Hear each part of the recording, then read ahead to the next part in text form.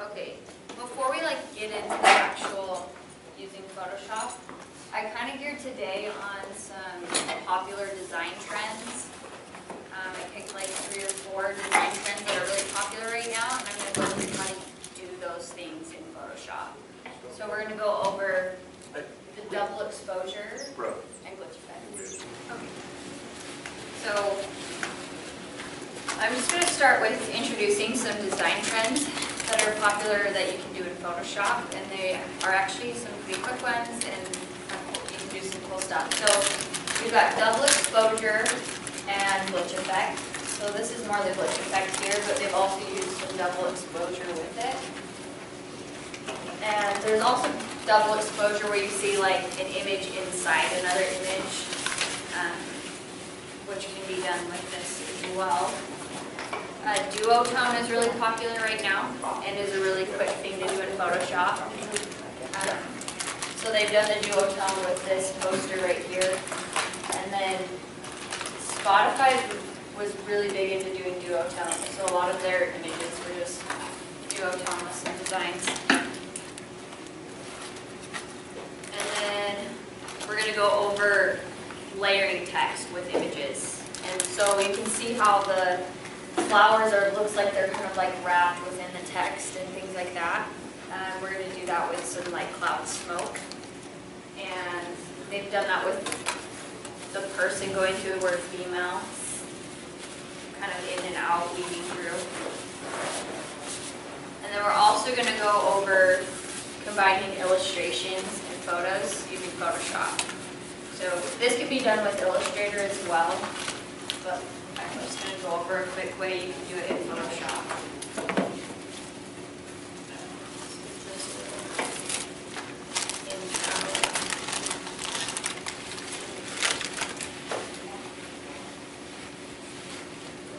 Um, so in that file, I gave you just, um, a person with a white background that you can kind of practice with.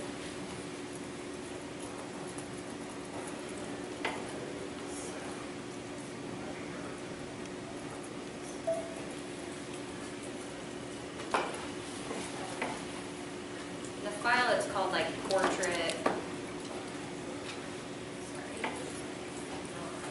Portrait four five zero five. So you'll start with this image right here. And this, well, this is the glitch effect. I want to start with going over double exposure. So this is an example of using that girl and doing double exposure with it. And I'm going to go through kind of step by step how I got through this process. Because there's so many things you can do with it. Because I've like layered flowers, layered her twice, and it's actually a pretty quick process. So I'll just start my new.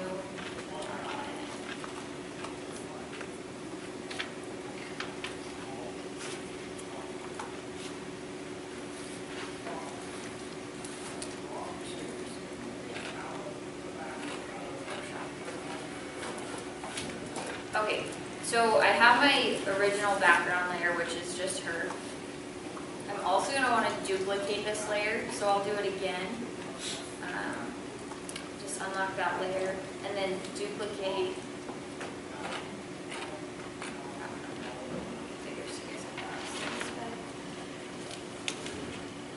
Just right click, duplicate layer. I'm just gonna call it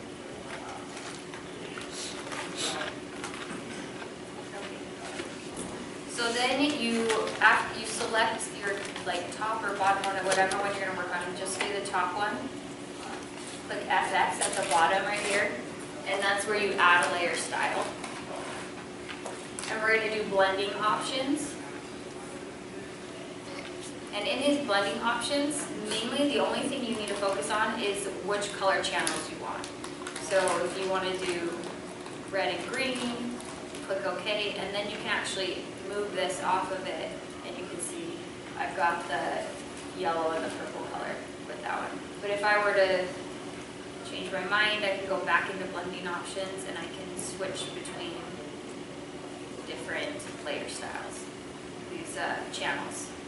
So this one is the Greek blue channel, and it's kind of got that reddish cyan color. So you can kind of pick what you want to be using for this. I, um, in my project I did here, I really off-centered them quite a bit But the other problem when I off-centered it, you can see, I've got this like bar here where the picture can go over. So to combat that issue, so I still have that red tone, I just went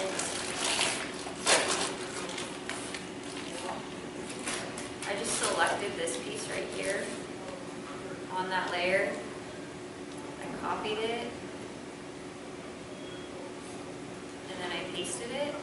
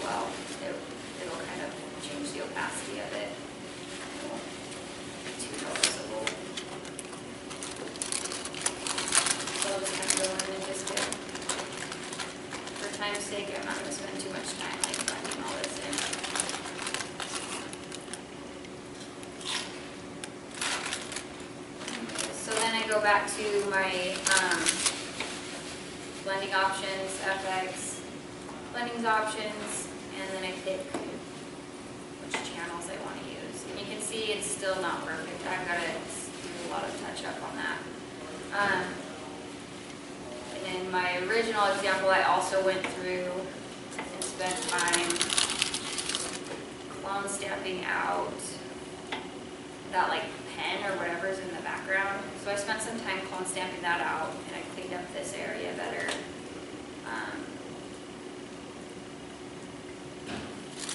and before like, you're gonna wanna clone stamp out stuff in the background out of the way, blotches before you add that color on top as well. Changing the channels. Um, that's like really the simplest way to go about doing channels. And you can play with them, blending options, you can also like change opacity of different things of your layer, so like, and blending options, when you're clicked on the layer up here, the opacity, you can like drop opacity down and play with how you want it to look, things like that. Um,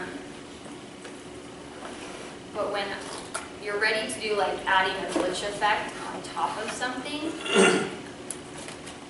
kind of cool when you add like scan lines on top of it. So if I were to, let's just say I'm using this project that I was working on before, I take this scan lines, so I have, I've given you guys this scan line file, and I just drop it, I just bring it in.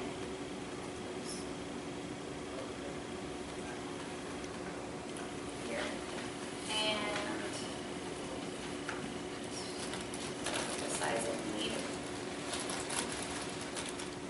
And I just placed it right on top of my images, so it does go right over the top. And then you can play with the opacity, but usually if you do, there's a few options with your layer styles. So right here, instead of normal, you can do color burn, which also gives you that kind of, the lines in see-through, so I can now see my picture. And then I just go to opacity and I can like drop my opacity down to like whatever amount I want to see those. So I usually don't, I have the opacity down to like two percent, five percent, like hardly anything, so that I just get a little bit of that kind of old glitchy screen line, scan lines on it. And then I can go about doing things like, uh, you can like, uh, merge. I'm gonna show you guys how to do something that I was gonna show you in another thing. So if I want all of these layers merged together, but I just want it so I can do effects and stuff like that, I need to do, um, select, I had to take some notes because I forget all these steps sometimes. You select all of them, and then you click all layers, so select all layers. And then you go to copy, merge, and edit, and then paste. So you go to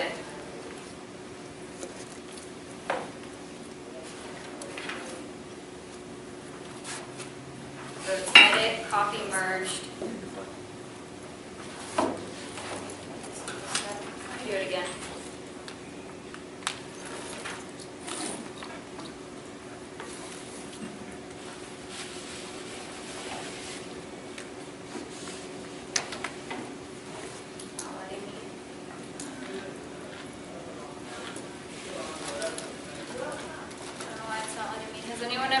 Photoshop and had that problem? Copy merged has disappeared. Edit paste. We'll do it with my other project because it does work with the other one. But you can merge them all and it will create a, a new layer of all those merged together. And then you can, uh, then you can just like play with that new layer and not delete out all these layers. Let me do it this way. Nope. We'll try it again later with the other one. Sometimes there's fluky things, and sometimes if you just like reopen your file, it'll work, and things, I don't know, sometimes, or if you have something selected, sometimes things won't work, so you just do Command D, and it'll make sure you're not selected on anything. Um, But anyways, I'm just gonna move back. So I'm gonna go back to my portrait copy, and this is how I add the glitch effect. So I will take something, like a little rectangle, I'll select it.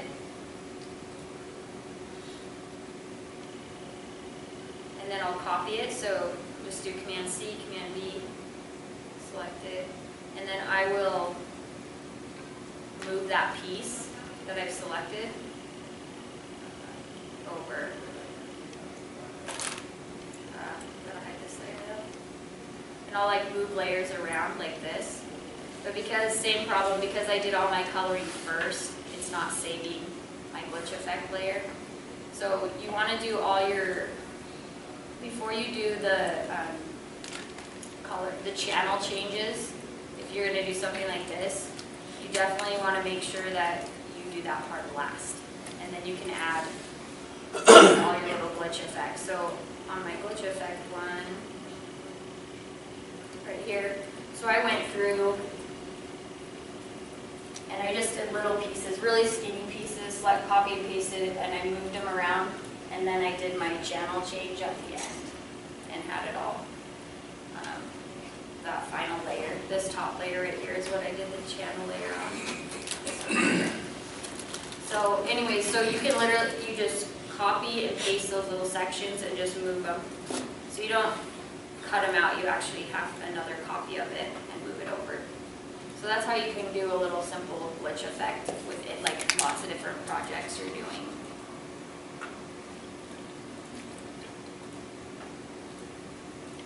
Sorry that one thing didn't work, but we'll do it again, it should work. Uh, duotone is really popular. Um, I did it with this girl, and I did her in like orange and purple, so if you want to follow along. Um, put her back in.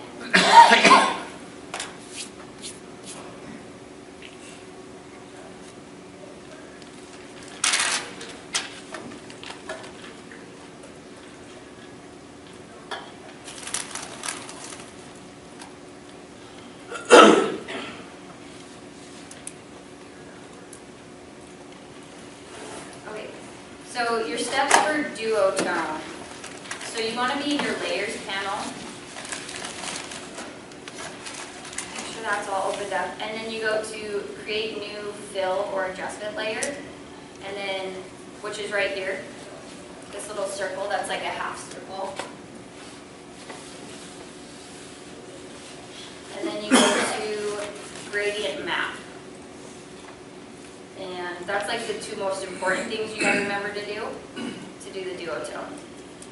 It automatically does it in duotone for you, but you need to be able to pick like your coloring and all that stuff.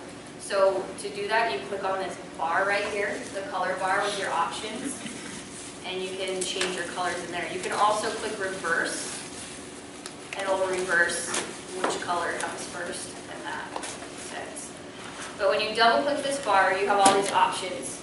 You can play with like the different tones here. Um, You can also change your colors, you can add in colors, so it's like a three one, but with duotone, I just like the two. Um, can adjust like how much pink there is, how much, or whatever color it is you're doing. If you click on these little squares right here, this is where you can like change your colors. So if I wanted to do, I think the one I showed you was purple and orange, I think. But sometimes it's kind of cool. In one of the examples I showed you, they just did purple was kind of the scheme and like white. So you can also do stuff like that. Play with, like how, how much there is of something. And you can just, it's literally just playing with and seeing what you like best. And really, you can get all sorts of things come up. Um, also switch to like some, no, no, that won't work for duotone.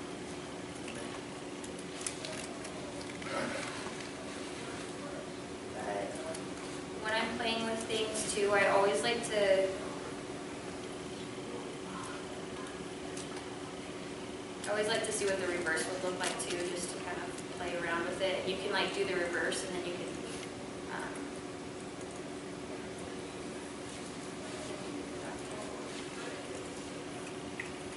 if you're trying to get some creepy effect, kind of fun to do sometimes. And back to normal. Anyway, so that is duotone. And it's really popular right now in some styles. It just kind of makes things, if you want the text to stand out more in something, but you have like the full image, it can help the text to stand out more.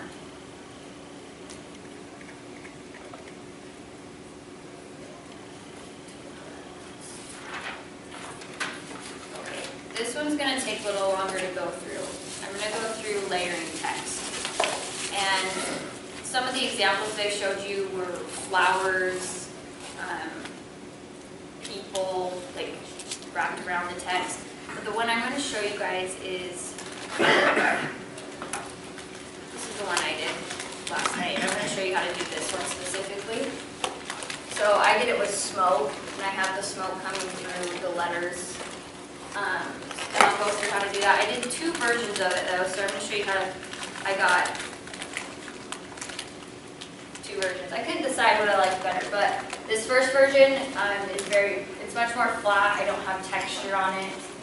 Um, this one I've added shadows to the letters, so it kind of pops a little more. And it's a little bit darker. I've changed some of the lighting in it. So we'll go through ways to make changes after you've finished your project as well.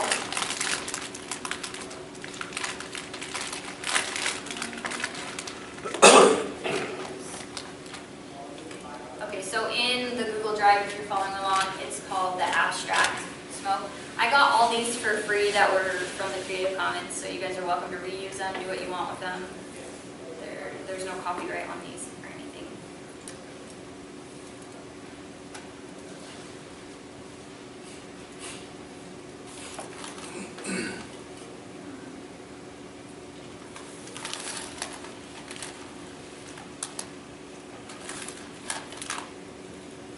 So, um, I don't know if I went over this last time, but I'm gonna do- go over this again. Canvas size, if you bring something in and you wanna change the canvas size, you can do that after. And I want this one to be like poster size, so I'm gonna do width eleven, height seventeen. And you can have it anchored to the bottom so that it, every, uh, whatever it adds is gonna add upward, and then it'll cut off the sides.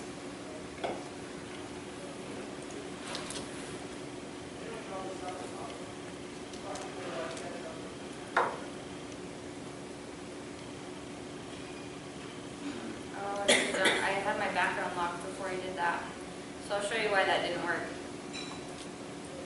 Didn't unlock my background, and it made like a automatic fill color.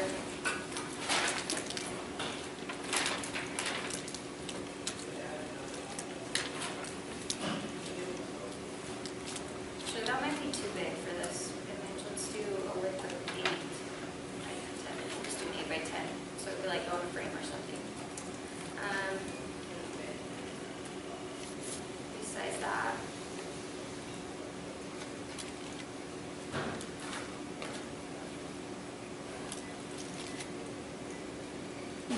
So your first step is to add your text where you want it. And when you are adding your text, don't type out each letter together, do each letter separately, so they're their own layer. So each letter is its own layer. So I'll do, this one I did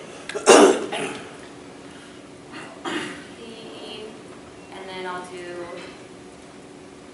my text tool out. I'll do the O,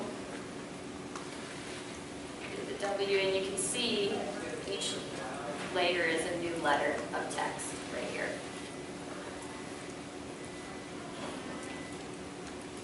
And then I'll do the R. Okay. And then I can go through and make changes too. I should have like made it the size and the color I want. I just want to do white. This one. Change my font size. Last time I went to like, I went pretty big. I think I said, wrote down my notes here. I just did the settings at, yeah, I set it to like 150.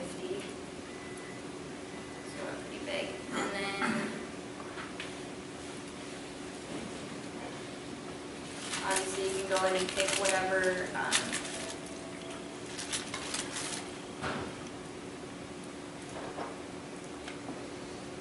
probably should do that to all of them at once.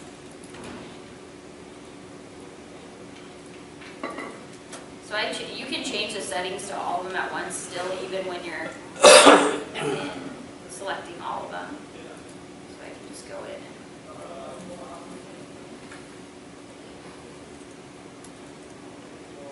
Still not really good. Oh, is it putting in the right section? There we go.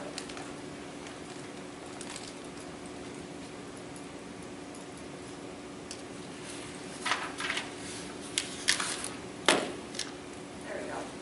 So you can still select them all and edit them all at the same time, even though they're on separate layers. But I'll place them where I want them. I guess while they were selected, I should have changed my color. Go to white.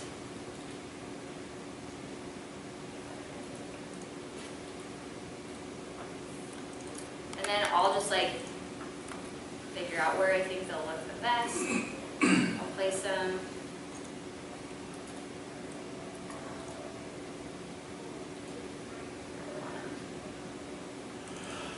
Okay, so then, um, this is where we start doing some selections and erasing and all sorts of fun stuff. So, you, do, do, do, do. First thing, I like to keep my layers organized, so I'll group my text. I'll just select them all, do the folder down here, create a new group, and I'll just call this group text. Just so I keep it out of the way for now, and I can work on that later when I make changes to my text later.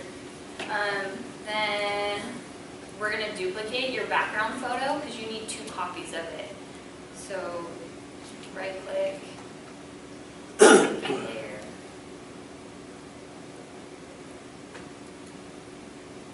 And then make sure that you, when you, you're gonna, um, you're gonna add a layer mask, which is right here at the bottom. Add layer mask.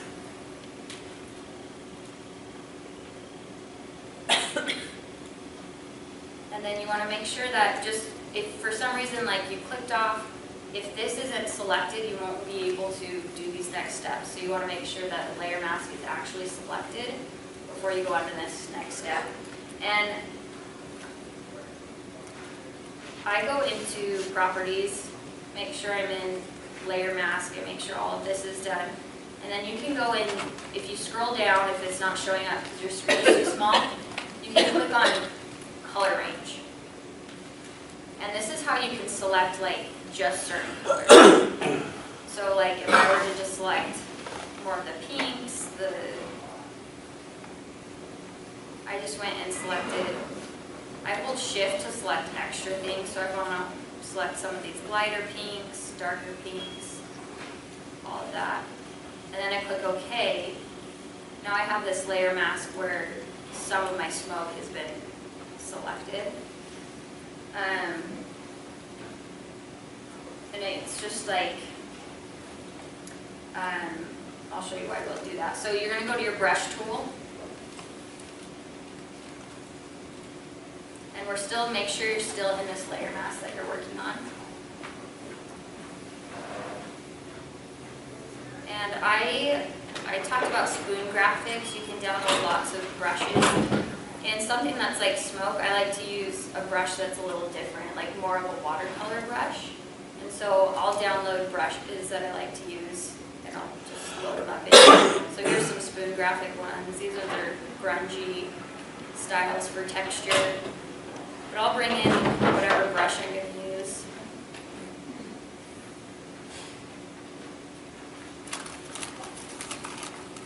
And then make sure your foreground, so your, your foreground color needs to be set to white, because then we're gonna start revealing some things. Actually, I gotta hide the text though. So the text needs to be in between these two layers. So I got this one right here. So now you can see where some of the smoke, when I selected that color range, it made some of the smoke disappear. So the blue colors disappeared off this layer. They're not there anymore, but they're still there on my background layer, so I still see them. But then I, what's, what it's revealing now is these pink colors. And so I've already started this process of like showing through. So I, I like how using the color range really gets every color that I kind of want to use. But then that's when I go in with my brush on this layer and I go in and I can like reveal more things that I, I can hide things, but I need to make sure I want black. So I just switched right there, that little two squares, I switched it to black and white background, foreground.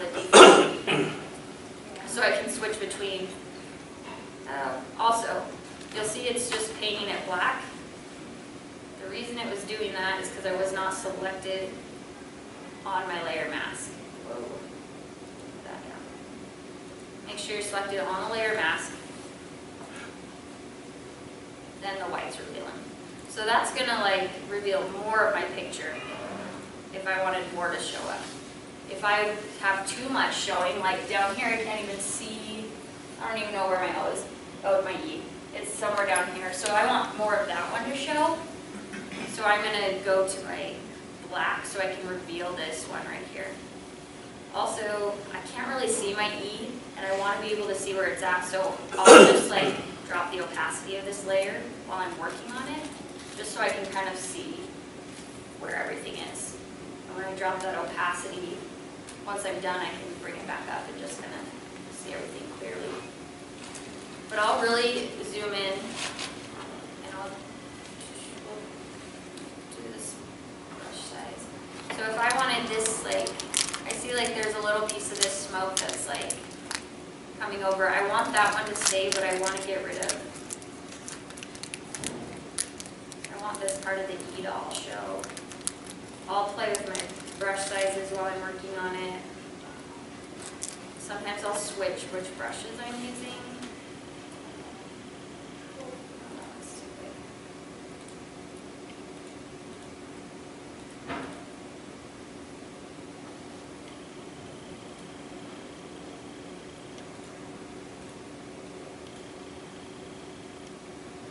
And then when I go back to my opacity, I can kind of see where it's like, now it's showing through again, more like the E is popping through. So I'll go through and I'll, I may want this one to totally show, I don't know, and just have that little part of the smoke coming out. Um, And I can go through and do that with my R. But when I'm getting like, really working on a project, I like really make sure I'm like being super exact. I'll get in here really small and I'll just work on it right through here.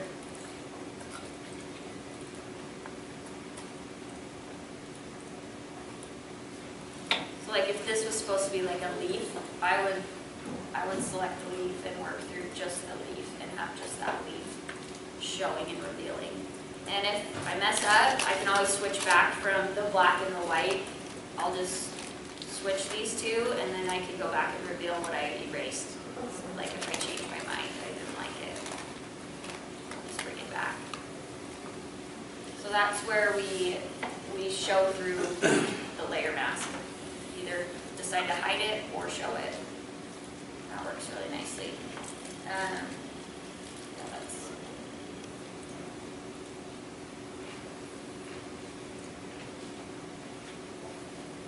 So This one, like I, there's like a lot of like, if I were to zoom in, I get really detailed in this. Not just that little piece showing. Um, so the next thing you would want to do after you figure out how much of the letters you want showing, how much you want hiding, um,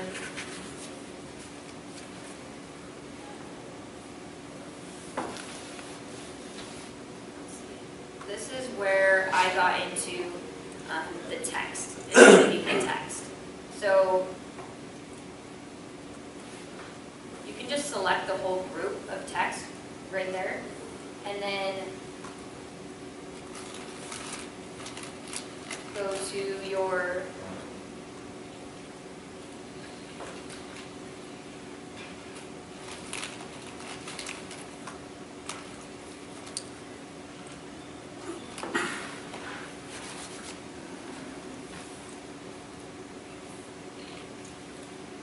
shadow, sorry, that's where it was. I wrote inner shadow, but I forgot where I put it. Um, in FX, inner shadow. This is gonna give a shadow effect.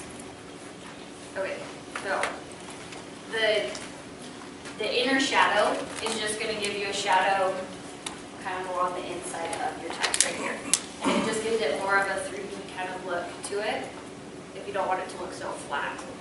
So, go FX and then um, inner shadow. And I did, for my original one, I did my setting set to 23% opacity. So up here in opacity, I dropped it down to like 23, 22. And I kept everything the same except for size. I, I think the original setting's the size different, but I dropped it down to like 10. Let click OK. If you zoom in, you can see there's now an inner shadow slightly along this edge right here. So I keep things pretty, pretty simple when I'm doing this. I don't go too crazy with all those little extra details. Um, This is where I was, I'm gonna try to do the select.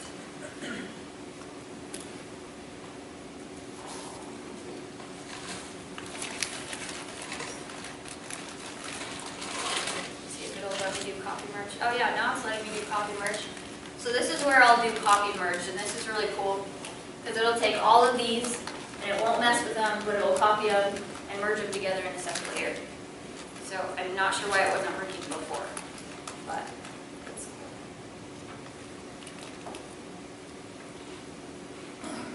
And then I have to go to edit, paste, because I've already copied those, and then I paste, and they're all right there. So if I were to hide all these layers, I'd still have my full project right here. Or like if I do the big changes, I could delete out this layer. But this is basically the whole project on one layer, right there. Um, And then this is where I will go in and I'll like filter layers and just like adjust things. This is where I went from I went from this style to this style. And I also did add, with my text, I also added another effect. And I think I added just like um, a drop shadow to it, a very slight one. It wasn't like anything crazy. I think I kept it at 90. Pretty sure I dropped this. Just a very little drop shadow to this as well. Back to this layer. So I put in the folder a kind of like a paper grain texture, which you can use for all sorts of projects, whatever you guys want to use them for, but it's called paper grain. And it's kind of like the scan line, same thing. You drag and drop it in, or insert it however you like to insert it. And I just make sure it's placed over my whole image.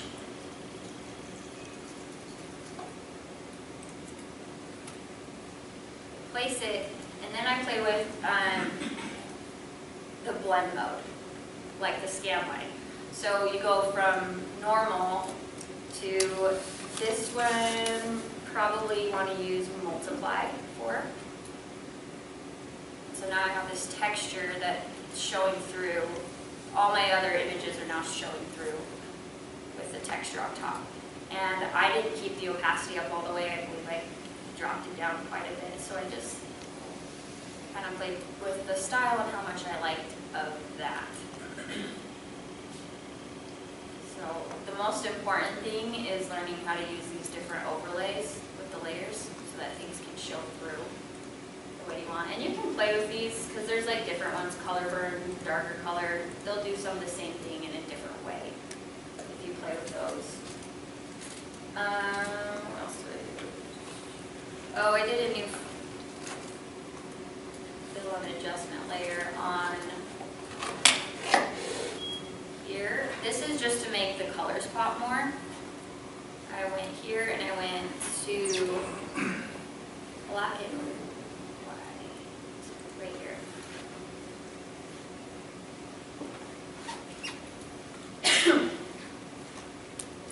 And then I went to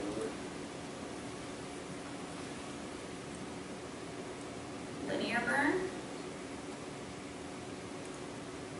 And I kind of just made them a lot darker. And you can still adjust opacity with this one and play with those things. So again, with this, these layer, layer modes, like blending modes, they're like super awesome because you can do so many cool things with them. So this black and white one just kind of made the contrast a little bit more on this image. Bringing it up like that.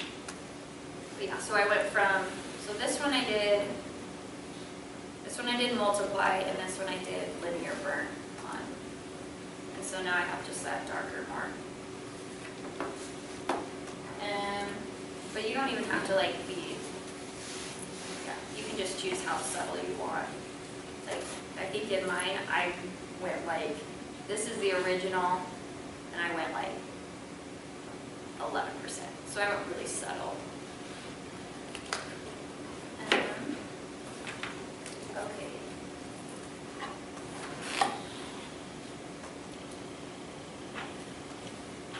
I also threw in some paper like this kind, um, kind of like an antique paper, which is kind of cool to do, um, just more like showing through, the image showing through, and you can use some cool texture brushes to do this as well. Um, let's go to, oh, here's the one I did, but let me find the background I used.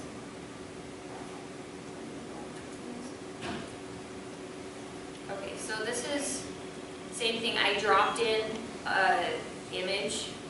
This one, I didn't, I kept it as normal, and I added a layer mask, and then I, it was like the same thing with the letters, I just had the, I just had it revealed, and so, I just had it, well, actually, no, I had it erase just all this on this layer mask, so that the background photo revealed through the, through the paper image.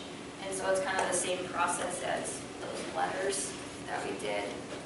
Um, yeah, so I would definitely recommend either investing in cool texture brushes if you're doing effects like these in Photoshop, or tons of free ones out there, lots of free ones you guys can use. Um, and the last thing I want to show you, it wasn't on, well, it is kind of a popular trend right now. If you're wanting to put things website or Instagram or social media, animated things are really popular right now. And you guys can do animated GIFs in Photoshop. So there's a lot you can do with it. I'm only gonna like touch the surface of it. But if you want to get into some animated artwork or things like that, um, you go into Window and you change your workspace. So I always like, when I get in, I always like decide what I'm going to do. If I'm in Photoshop, I'm just usually doing the essentials or painting, but you can go to timeline, which usually it shows motion. Okay, it's right there, motion.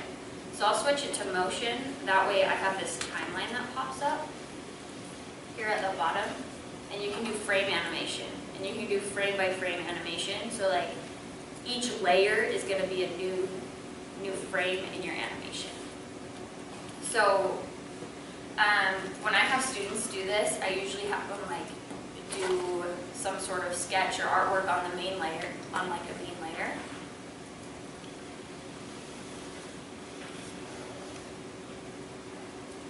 I'll just add a new layer here. We're gonna do,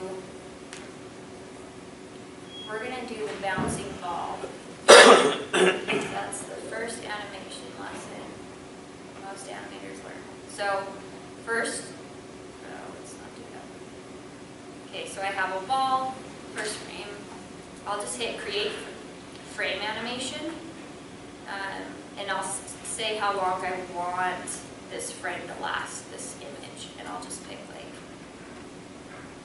two point two seconds, and then I will add another layer. And I'll draw my next one and the next layer. And I can like hide and show as I go I need to. But I'll just like it to make as many layers as I need to.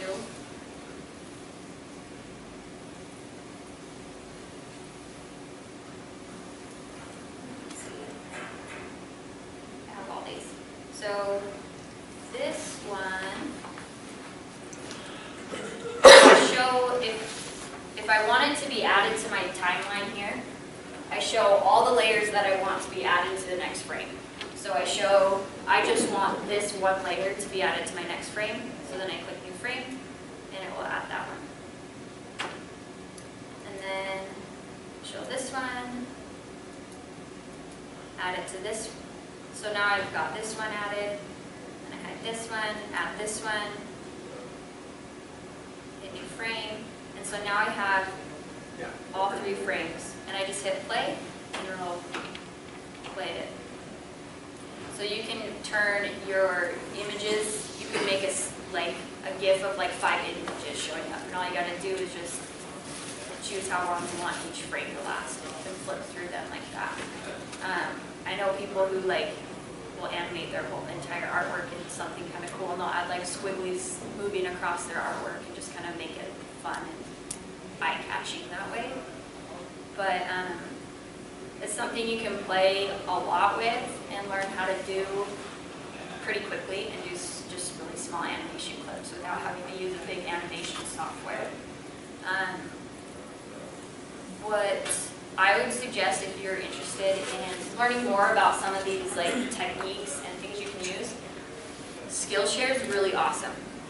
If you're a self-taught person and you're just teaching yourself how to do it, you can get two months free and you get all the Skillshare classes and they're basically just people who are graphic designers or whatever it is that they do and they just share what they do in like classes and they have lessons and you can go through and you can go step by step how to do a certain project. Um, I'll pull it up really quick.